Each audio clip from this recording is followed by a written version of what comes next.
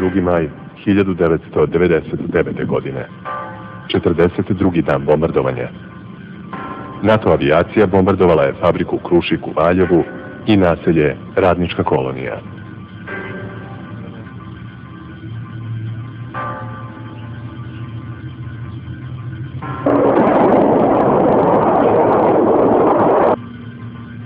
Tih dana u Srbiji su slike svuda stravične. Sva veća i značajnija vojna postrojenja su bombardovana. Uništene su fabrike, stambene zgrade i mostovi.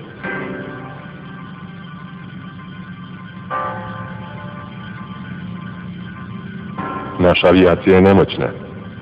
Do tada su poginula dva pilota, potpukovnik Života Đurić i major Zoran Radosavljević, a šest njegova 29 najvrednijih aviona u našoj avijaciji bilo je uništeno. Praktično naša eskadrila sa Migovim 29 jedino, koliko toliko ti avioni su mogli da se suprotstave avionima sa NATO-a sa druge strane. Ovi Migovi 21 su već tada i sada dosta zastareli za neku borbenu upotrebu, u smislu lovačke upotrebe. Za nas je to isto kao da su nas napali Marsovci, ili toliko smo tehnološki bili inferiorni da svaka inferiornost preko toga je imala isti efekt. Na našim avionima dve godine pre bombardovanja istekli su svi resursi za sve delove, motore, agregate i rakete koje mi imamo. E, ti resursi su produžavani onako u komandi odlukom otkuca se papir, potpiše se i resurs produžen. Bez ikakvih naknadnih velikih ispitivanja ili potrebnih radova, zato što smo tada bili u sankcijama u blokadi koje se nije moglo završiti. Dešavalo se da oni budu kao ispravni, ali vi kad poletite vidite da on nema snagu da otkrije ovaj, ciljeve, da jednostavno je, niste bili sigurni kada poletite šta će na avionu da radi, šta neće raditi. E, kada smo ušli u bombardovanje, delovi koji su bili oštećeni mi smo krpili sa neispravnih aviona, slapali smo ispravne avione, međutim nije to bilo to. Radari su tada bili na nekim mogućnostima 30-40 km, agregati uređaji su bili neispravni. Jer domet naših raketa bio 20 km, a njihovih mnogo struko veće, znači dva do tri puta veći domet. Od nas se očekivalo da se suprotstavimo, da odvratimo neprijatelja od napada, da obaramo na avione koji nas napadaju.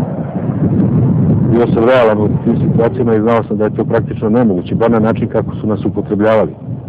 Ako vas podignu preko lo, ovaj, protiv lovačkog aviona koji je bolje naoružan ili je veća grupa, a vi ste sami, znači tu su vaše šanse skoro nikak.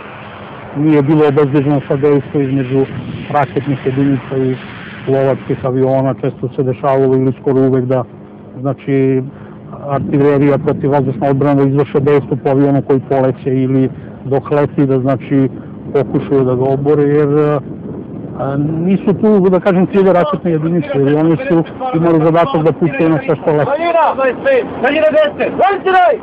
Lancirano, prvo lancirano! Zahvat, vođenje!